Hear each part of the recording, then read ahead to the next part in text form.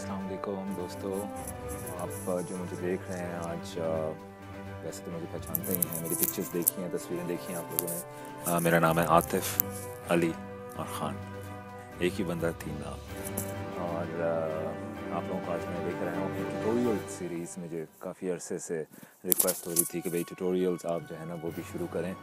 आप लोगों की बहुत ज़रा नवाजी आप लोगों की बहुत लगाव है, मोहब्बत है, प्यार है, जिसकी वजह से आज से मैंने ये ट्यूटोरियल्स का सिलसिला स्टार्ट किया ये जो जगह मैंने आप लोगों को इस ट्यूटोरियल के स्टार्ट से पहले दिखाई थी, ये मेरा फेवरेट स्पॉट है, जिस तरह आप लोगों के लिए रावल लेक है, जो इस्लामाबाद में रहते हैं, उस तरह यहाँ पर ये पीटरी आइलैंड है, जहाँ पर मैं हमेशा आता होता हूँ और आप लोग मेजॉरिटी मेरा लैंडस्केप वर्क यहाँ पर ही देखते होते हैं। तीन चार जगह और भी हैं, लेकिन वो थोड़ा सा मेरे घर से दूर हैं।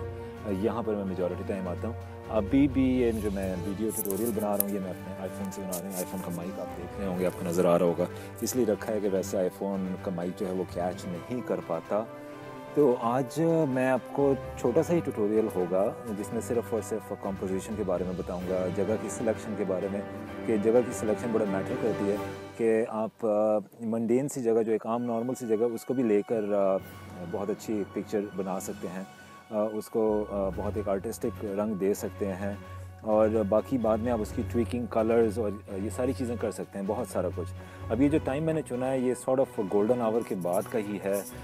आज चूँकि सूरज ज़रा थोड़ा सा तेज़ निकला हुआ था, आप देख रहे होंगे, मेरे चेहरे पर पड़ रहा है। उस तरफ़ मैं अभी कैमरे को टर्न करूँगा और ये आईफोन का आई मीन आप देखेंगे कि ये सूरज भी इस टाइम पर निकला हुआ है। और यहाँ से वो गरूब हो रहा है तो अब ये सिलवेट हो गया होगा पीछे। ये मेरा फेवरेट स्पॉट होता है यहाँ पर and I always come here to take pictures this is ये मरीना दिस इज़ ये सारा यहाँ पर मरीना है बहुत वगैरह पार्क होती हैं लोग लेकर आते हैं। और uh, अभी भी uh, मेरे लिए थोड़ा सा मुश्किल uh, है इसको मैंने आईफोन को बड़ा स्टेबल रखा हुआ है वो भी एक मैंने खुद से मेक शिफ्ट स्टैंड बनाया है मैं आपको सबसे पहले वो दिखाता हूँ कि छोटी छोटी घर की चीज़ों से या रोज़मर्रा की चीज़ों से आप उसको कैसे यूटिलाइज़ कर सकते हैं एक अच्छी पिक्चर अपने स्मार्टफ़ोन से लेने के लिए भी। आप लोग हैरान होंगे देख कर के मैंने क्या चीज़ इस्तेमाल की है। ये एक पेप्सी का कप खाली कप और इसके अंदर मैंने छोटे से चाकू से, छुरी से, हाथ से भी पेंसिल से सुराख कर लिया और इसके अंदर मैं अपने आईफोन को ऐसे कर कर सेट कर देता हूँ। ये और ये आईफोन इसकी वजह से बड़ा स्टेबल हो जाता है तो आप इसको टाइमर पर रख कर पिक्चर ले सकते हैं। वीडियो बना सकते हैं, इसको घुमा सकते हैं। तो कमिंग बैक छोटा सा मैंने आपसे अर्ज़ किया था कि ट्यूटोरियल होगा तो ये लैंडस्केप जो मैंने चूज़ किया है, आज पीटी आइलैंड का मरीना है, यहाँ पर बोट्स वगैरह पार्क होती हैं।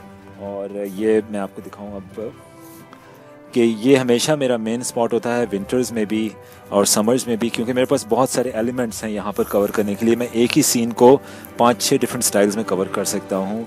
अगर मैं चाहूँ तो मैं सिर्फ़ ये बोट्स की ही पिक्चर्स ले लूँ। आई होप कि आप लोगों को नज़र आ रहा होगा यहाँ पर। थोड़ा सा मैं टर्न करता हूँ इसको अभी। ये अब आप लोग देख रहे होंगे कि मैं इस एंगल पर भी ले सकता हूँ कंपोज कर सकता हूँ पिक्चर को, और मैं यहाँ पर भी कर सकता हूँ। और मैं यहाँ पर भी कर सकता हूँ और मैं सिर्फ़ इतना स्पॉट भी ले सकता हूँ।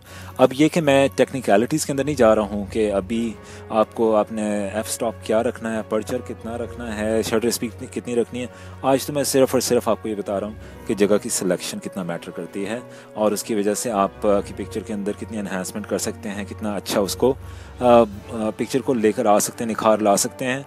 और आजकल जितने डिजिटल एस हैं उसके अंदर इतनी कैपेबिलिटीज़ मौजूद हैं डिजिटल एस में कि आप उसको अगर क्रॉप भी करते हैं क्रिएटिव क्रॉप जो हर एक का अपना एक स्ट्रॉन्ग पॉइंट होता है। मेरा स्ट्रॉन्ग पॉइंट क्रिएटिव क्रॉपिंग भी है कि मैं क्रिएटिव क्रॉपिंग के ऊपर बिलीव करता हूँ कि उसकी वजह से आपकी पिक्चर जो है बहुत अच्छी हो जाती है, बहुत अच्छी बन जाती है और आप उसको जितना मर्ज़ी बड़ा भी कर लें, यानी कि जूम इन कर लें, तब भी आप एक अच्छा डिसेंट प्रिंट आउट निकाल सकते हैं। कम ही होता है कि लोग प्रिंट आउट निकालें आजकल के दौर में, लेकिन फिर भी, क्योंकि डिजिटल है फेसबुक है ट्विटर्स हैं, ये ये सारी चीज़ें हैं।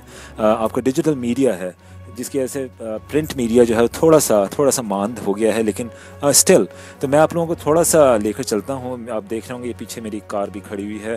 तो अमूमन ये होता है कि आप लोग सोच रहे होंगे कि मैं बड़ा इक्विपमेंट लेकर आता हूँ और अपने लैंड्स के पिक्चर्स के लिए, ऐसी कोई बात नहीं। मेजॉरिटी ऑफ़ द टाइम होता यह है कि मेरी अपनी पिक्चर्स में मेरे गोद में एक मेरा बच्चा होता है और शोल्डर पर दूसरा होता है और हाथ में मेरे कैमरा होता है और अमूमन गाड़ी की खिड़की के अंदर से ही मैं पिक्चर्स वगैरह खींच लेता हूँ क्योंकि इतना टाइम नहीं मिलता कि मैं निकलूँ बाहर। लेकिन फिर भी it is always a good idea कि आपके पास एक अच्छा सा ट्राईपॉड हमेशा हो, भले छोटा सा ही हो, लेकिन उसका, उसकी वजह से फिर होता ही है कि आप की पिक्चर जो है ना स्टेबल होती है। आप फिर अपनी मर्ज़ी से लैंडस्केप को डिवाइस कर सकते हैं, उसको इंजॉय कर सकते हैं, उसको डिफरेंट एंगल्स डिफरेंट पोजेस के अंदर कर सकते हैं और आपकी पिक्चर बड़ी विदाउट एनी शेक होती है। सिर्फ़ ये कि in the due course of time आप सीख लेते हैं कि आपने कैमरा हैंडलिंग जो है, वो बहुत मैटर करती है। कैमरा हैंडलिंग आपकी कितनी अच्छी हो गई है।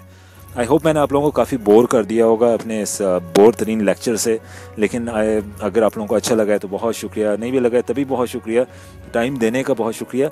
आई होप कि बहुत जल्दी आप लोगों से मेरी दोबारा मुलाकात होगी एक अच्छे ट्यूटोरियल के साथ और डिटेल में।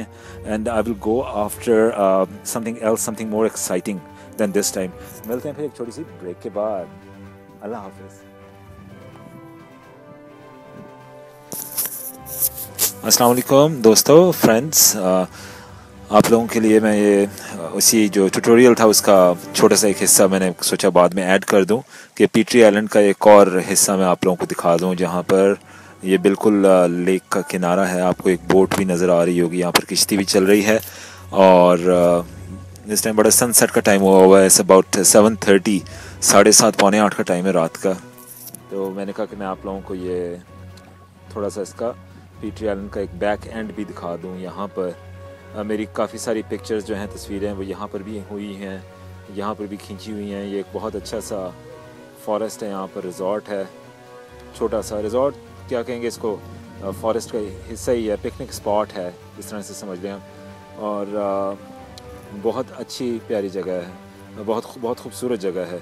मैंने कहा इसी बहाने में आपको कनाडा के एक ये कैपिटल जो है ऑटवा जहाँ मैं रहता हूँ इस्लामाबाद की तरह है। इस्लामाबाद शायद इसी की तरफ़ बनाया गया है। क्योंकि ये काफ़ी पुराना है। It is about more then at least more than hundred years two hundred years old तो इलाका उसी तरह का ही है। ये मैं ईस्टर्न में रहता हूँ, बिल्कुल।